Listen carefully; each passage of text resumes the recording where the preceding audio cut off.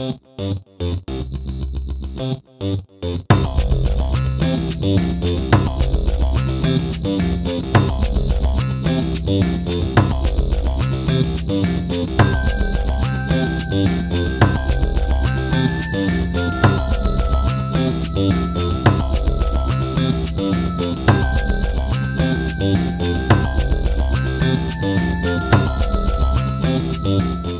guys, it's And today I have my bookshelf reorganization. Now that I'm living in a different house, I have different bookshelves.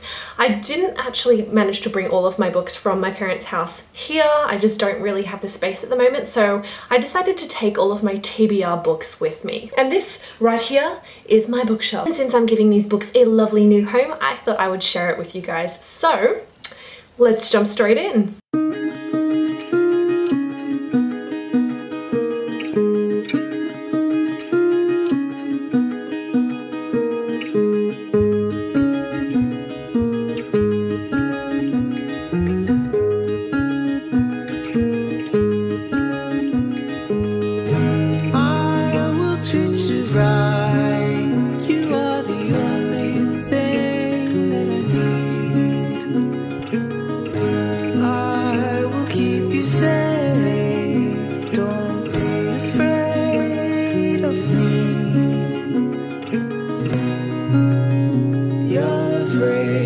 scared of me.